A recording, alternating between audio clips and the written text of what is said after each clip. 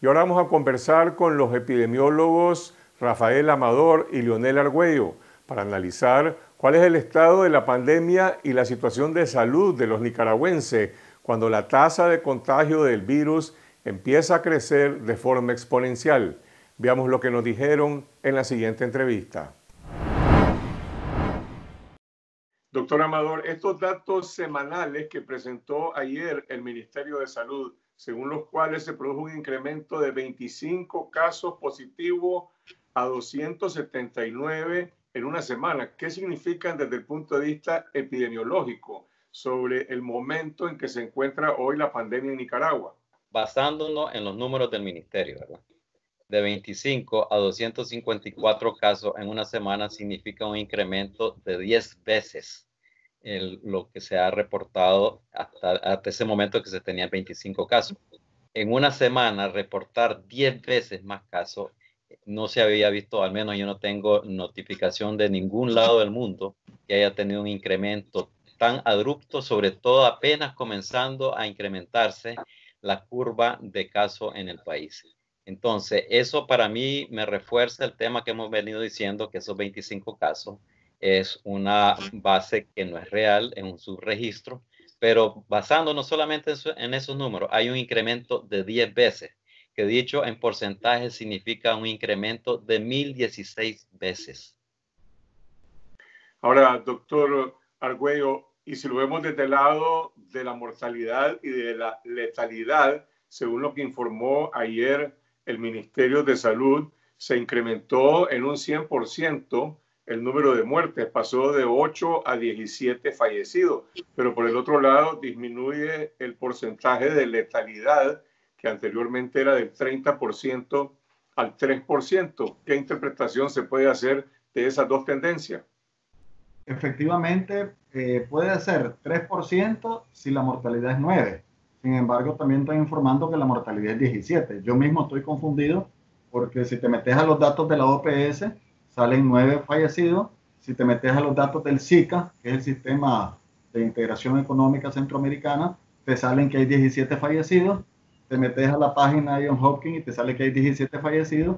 Entonces, digamos, según esos datos, vos puedes tener o 3 o 7% de letalidad. Quiere decir que de cada 100 nicaragüenses que se complican, 7 eh, tienen la posibilidad de fallecer por esta complicación del COVID. Sigue siendo una cifra altísima. Y aunque esto está demostrando apenas una parte de la realidad, creo que lo más importante, lo que decía Rafael, es que eh, se está aceptando que hay un incremento geométrico tal y como nosotros lo planteamos de diciembre del año pasado. O sea, Nicaragua no se está comportando diferente a ninguno de los países del mundo que ha sido afectado por esto. Y estamos apenas comenzando la curva hacia arriba. Ahora, por el otro lado, un día antes, el presidente Ortega, en su tercera comparecencia en cadena de televisión, dijo o admitió más bien implícitamente que en los últimos 12 días en el país hubo 223 muertos por neumonía y dijo que algunos de estos casos están asociados a la pandemia. Y por el otro lado, nosotros vemos que hay centenares de familias que están siendo testigos de que sus familiares fallecen en los hospitales por problemas respiratorios y las autoridades de salud ordenan estos entierros express. Entonces los fallecidos por COVID-19 son 17, 25 o son más de 233 o más de 300, como dice el observatorio, doctor Amador. Sí, en efecto, eh, como se ha mencionado en diferentes momentos, en época de epidemia, mientras no se demuestre lo contrario, cualquier neumonía típica hay que considerarla COVID, sobre todo si no tenemos la posibilidad de hacer el examen de laboratorio adecuado. Entonces, sí se ha incrementado la mortalidad en relación a causas de neumonía, a pesar de que han manejado las cifras de una manera un poco confusa para, hacer, para ocultar ese, ese hecho, ¿no? Pero la realidad es que se ha dado un salto. El doctor Hernández tiene información muy importante al respecto cuando compara el comportamiento histórico los últimos cinco años de la mortalidad de neumonía. Y de nuevo, lo que hemos dicho en otro momento, el aceptar algunas cosas a media en esta circunstancia es decir sí. En todas partes del mundo, los ministerios de salud están brindando reportes prácticamente en, en línea al día, 24 horas. Aquí, sin brindar ninguna explicación, se pasó de un reporte escueto y confuso diario a un reporte semanal. ¿Por qué decidieron pasar de informar diario a informar semanal? Y por el otro lado, los reportes epidemiológicos, como el que mencionaba el doctor Amador, que está estudiando eh, el doctor Hernández, que sí cubren periodos semanales, ahora dejaron de publicarlo. Bueno, yo creo que hay eh, tres cosas aquí fundamentales. Lo primero es, ¿se acepta o no se acepta que hay epidemia en este país desde el punto de vista oficial? Los datos te demuestran de que hay epidemia en este país. Segundo, ¿se acepta que esta epidemia está creciendo geométricamente o no? Según los datos, subimos apenas en una semana 10 veces más de casos, o sea, se está aceptando. Ahora, se está aceptando la totalidad de muertos que hay, porque nosotros tenemos información que hay un promedio entre 7 a 10 personas que fallecen diario en los principales hospitales de este país, ¿verdad? más allá inclusive. Y eh, esa información pues no se está dando, lo sabemos de médicos, o sea, estamos hablando de fuentes confiables. Eh, sabemos que hay una serie de gente que está enferma también y tampoco eso eh, está saliendo. Entonces yo cuando miro todo este montón de datos y como decía Rafael, este enredo entre una cosa y otra cosa, mira, a efecto práctico, si aceptamos que ya tenemos una pandemia, que lo está aceptando la población, si ya sabemos que se nos está muriendo la gente de esto, ya sabemos que se nos está enfermando el COVID-19 y que estamos esperando para hacer prevención, ¿qué estamos esperando para realmente hacer una campaña de prevención para que esto no ocurra? No se hace absolutamente nada de, de tipo fuerte, de tipo que cubra todo el país, no lo tenés. O sea, se nos está muriendo la gente y ¿qué estamos haciendo? Se nos está enfermando la gente y ¿qué estamos haciendo? O sea, aquí no puede haber una estrategia de inmunidad de, manada, ¿verdad? la inmunidad de manada no funciona en ningún lugar. La inmunidad de manada es, o inmunidad de rebaño, es porque es, igualito como un corral. Pues en vos tenés un montón de vacas, las juntás y después las pones para otro lado en un corral, después las pones en otro corral. Eso es lo mismo, exactamente así se puede hacer. Pero entonces, ¿qué significaría eso? Que, si, eh, que ya deberías haber cerrado Chinandega. ¿verdad? Y entonces, y dejar que nadie salga de Chinandega y que nadie entre en Chinandega, en los lugares donde son más afectados eso es si quisieras hacer inmunidad de rebaño. Pero además, ponerse a altas alturas a hacer inmunidad de rebaño, te digo sinceramente porque no encuentro otra palabra, hay que ser estúpido. ¿verdad? Porque no está garantizado que la inmunidad que está dando este COVID-19 es una inmunidad permanente. Porque hay otros coronavirus que nos dan gripe también, pero no grave, que dan inmunidad temporal. O sea, nada más de unos meses. Nosotros tenemos cinco meses con esta enfermedad. ¿Cómo te va, se te ocurre a vos hacer una estrategia de inmunidad de rebaño, que no creo que eso sea el pensamiento, ¿verdad? Pero bueno, pudiera ser cualquier cosa, eh, si, eso no, si eso no, técnicamente no tiene ningún sustento científico. En este momento hay incluso una discusión entre los expertos en derechos humanos, dicen más que una estupidez, estamos frente a un atentado contra la vida, contra la salud de la población que podría implicar incluso actos delictivos que podrían ser punibles, aunque es bastante difícil de de probarlo de esa manera desde el punto de vista penal. Pero vamos, una de las cosas que llamó la atención en la última comparecencia televisiva del presidente Ortega que la sala del Carmen, que usualmente está atestada no solamente de funcionarios públicos y de, y de partidarios de la juventud sandinista, estaba semi vacía. El presidente, la vicepresidenta, el señor Porra y la ministra de Salud. No había absolutamente nadie más y quizás alguna asistente. Es decir, y la gente dijo, quiere decir que el presidente Ortega sí está tomando medidas de distanciamiento social dentro de su propio círculo gubernamental. Sin embargo, lo que ocurre fuera del gobierno, en las calles, en las convocatorias que hace el Instituto de Seguridad Social para el pago de los jubilados, están promoviendo aglomeraciones. No se han suspendido las clases y se siguen promoviendo aglomeraciones en otras partes. ¿Cuáles son las medidas preventivas que hoy a estas alturas deberían tomar si pueden ser efectivas? Ya la gente está aceptando y reconociendo la enfermedad. Yo agregaría y la está sufriendo.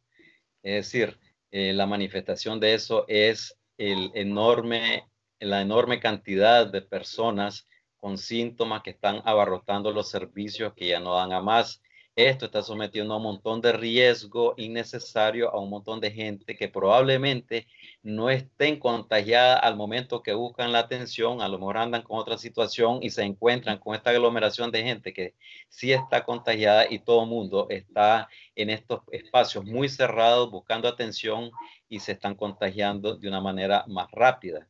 Eso por un lado, pero además de eso están, están sobrepasando la capacidad de respuesta oportuna y adecuada de los médicos del servicio de salud para atender adecuadamente a los que realmente necesitan atención.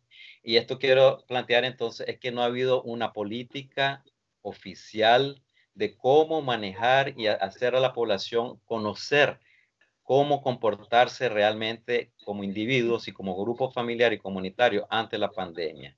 Los están mandando a todito al mismo tiempo a los servicios de salud. Recuerden, el 80% de la gente que se contagia quizás ni va a presentar sintomatología. El 20% restante es el que va a tener un nivel leve, moderado o grave. No todos tienen que ir a los servicios de salud de manera abrupta eh, al inicio, porque corren más riesgos que beneficios. Entonces, si el personal de salud supiera dirigir correctamente los mensajes a las familias y además de eso, a sus mismos recursos de salud, de cómo diferenciar aquellos de mayor riesgo que sí ameritan una atención urgente, necesaria y adecuada, disminuir el estrés y la carga de demanda de gente que realmente no lo necesita, sin decir esto que se desatiendan, sino orientarlos correctamente, pudiéramos comenzar a manejar el estrés colectivo y toda esta incertidumbre y este mal manejo, tanto la comunidad como la respuesta de los servicios a lo que estamos enfrentando ahorita creo que en lo inmediato, además de las medidas de prevención que vos estás preguntando, que hay que reforzar todo lo que se ha hecho ahorita, todo lo que la parte responsable de la población ha hecho hasta este momento, los tiene que seguir reproduciendo y reforzando. Eso es un hecho. Y, como decíamos en otras veces, este es un maratón, no es una carrera de velocidad. Por eso hay que equilibrar la energía y la fuerza para una carrera de mediano y largo plazo. Pero además de eso, preparar los servicios de mejor manera para que la gente que llega realmente se pueda atender adecuadamente. Esas aglomeraciones, doctor Arguello, que se vieron el día de hoy eh, de adultos mayores que están recibiendo su pago de parte del Instituto de Seguridad Social de Mazagal, Peneón, en diferentes partes, implican riesgos para la salud de estas personas. Mira, yo creo que aquí hay que estar claro de una cosa, o sea, aquí hay responsables del contagio, ¿verdad? Y responsables de que la gente se enferme y de que la gente fallezca. No es que, no es que fallecen porque, porque llegaron y porque ellos agarraron la enfermedad, sino más, no. Estamos hablando del INS, que es una institución de salud. Si me estuvieras hablando de una institución que no sabe todavía, pero estás hablando del INS, cuya eh, misión es salvaguardar la vida de su, de su gente. Y especialmente en esta enfermedad, que sabemos que aunque desde recién nacido hasta más de 100 años podemos padecerla, las personas mayores de 60 años con enfermedades crónicas, que son la mayoría, deben tomar las medidas correspondientes para evitar el contagio. Y todas estas aglomeraciones para la pobre gente que tiene que ir a buscar su dinero, ¿verdad? porque no se lo pueden pagar vía electrónica, entonces eh, se juntan. Vos no ves que hay absolutamente una sola medida de responsabilidad de estar a 1.5 metros de distancia, de garantizarle que los viejitos y las viejitas se estén lavando las manos con agua y jabón, garantizarles alcohol gel, garantizarles una serie de cosas que lo ves, por ejemplo, que lo, hace la empresa privada. O sea, no hay absolutamente una sola medida. Eso, eso no puede ser. Yo creo que es responsable el INS de garantizar, porque cuando esos viejitos se enfermen, ¿quién es responsable? ¿Quién va a ser el responsable? Tiene que haber alguien responsable de eso, hay que cuidarlo. Y no lo estamos cuidando. A mí me parece una sonora irresponsabilidad, sinceramente, me, me parece absolutamente criminal eh, el hecho de exponer a ese montón de gente mayor de 60 años en un solo lugar. Yo creo que nosotros perfectamente tenemos la capacidad como nicaragüenses de que la gente esté distanciada. Hay diferentes formas de poder pagarle. A uno se les paga un día, a otro se les paga otro día. Hay muchas maneras de hacerla de forma dispersa, pero no es posible que a estas alturas, que ya sabemos que se nos está muriendo gente, nosotros estemos exponiendo a la gente nicaragüense con mayor vulnerabilidad y mayor riesgo de fallecer. Volvamos al punto de dónde estamos hoy, de acuerdo a esos datos confusos, contradictorios, pero que marcan una clara tendencia que está palpable en los hospitales, en los entierros express, en los médicos contagiados, y es donde estamos hoy en materia de la pandemia. El doctor Amador decía, estamos al inicio. Yo recuerdo las proyecciones que hizo el doctor Hernández, decía el día 23, 23 de mayo, pongan atención, eso es una referencia como un punto, digamos, de crecimiento, no sé si máximo, pero un crecimiento importante que va a poner en tensión al sistema hospitalario. Eh, estamos al inicio o estamos ya llegando a la parte de máximo crecimiento de esta pandemia. No, eh, o sea, desafortunadamente estamos en el arranque. La curva apenas está comenzando a incrementarse. Y digo desafortunadamente porque lo que estamos viendo ahorita se va a multiplicar varias veces. Recordemos que el observatorio ha reportado ya aproximadamente 1.800 casos, si mal no me equivoco, ¿verdad? Y eso tenés que multiplicarlo por un exponencial enorme que estos 1.700 han contagiado a otros, etcétera. Es decir, los casos que tienden a ser severos ya se van acumulando. Eso es lo que estamos viendo en este momento. Pero en la medida que ha habido más gente expuesta durante la última semana, va a haber un incremento exponencial aún mayor de lo que estamos viendo ahorita de estos casos severos. Pero además, si las personas no manejan adecuadamente el comportamiento de la enfermedad y el potencial efecto o no efecto que les pudiera provocar a ellos, todo mundo va a abarrotar los servicios y van a competir los que no necesitan una atención necesaria en ese momento ahí contra los que sí la necesitan. Y entonces ponemos en riesgo a todo ese eh, enorme número de personas que realmente van a llegar con casos severos, pero que van a encontrar abarrotados los servicios y el personal de salud es limitado y también se ha comenzado a enfermar. Entonces, en términos concretos, estamos en el inicio del despegue de la curva y por lo menos vamos a pasar unas tres, cuatro semanas viendo para tal vez llegar a un pico. Y el doctor Argüello planteaba una teoría interesante, que por la forma como ha sido el comportamiento de una parte irresponsable de la, de la población, se han ido exponiendo oleadas de gente a, a potencial contagio. Entonces, en vez de haber un solo pico y una sola bajada, probablemente vayan a presentarse pico, bajada, pico, bajada, que va a ser más extensiva eh, la situación de la epidemia en el país, a diferencia de otros países que la han logrado eh, resolver en menos tiempo. Por ejemplo, Lionel, en este momento pareciera que los brotes de contagio están concentrados en Managua, todos los hospitales están abarrotados, en Chinandega, en Masaya, hay información de Matagalpa, pero no se conoce mucho sobre el Caribe, sobre el centro del país, Boaco Chontales, la Guinea, la parte norte, Estelí, Madrid, Jinotega e incluso partes del Pacífico como Granada, Rivas y. Es decir, esos departamentos, esos territorios, esas poblaciones que estoy mencionando, ¿acaso, eh, ¿acaso ya pasó el riesgo de peligro en esa zona? No, inclusive hasta en la zona rural, Carlos Fernando, es impresionante. Hasta en la zona rural vos encontrar casos e inclusive fallecidos. Nosotros estamos escuchando a los médicos de todos lados del país, inclusive en la RAN y en la RAX, nos han informado que han habido fallecidos pues, por los famosos entierros express, y además gente que se ha enfermado. Y hemos tenido oportunidad de hablar con gente que ha tenido COVID y que vive en esos lugares. Y a nosotros nos preocupa sumamente, por ejemplo, toda nuestra población indígena Recordemos que la población indígena vive en comunidades, viven eh, unos pegados a otros, bien cerquita las casas, ¿verdad? Son comunidades eh, bien pequeñas, así viven ellos, los miquitos y los mayangas.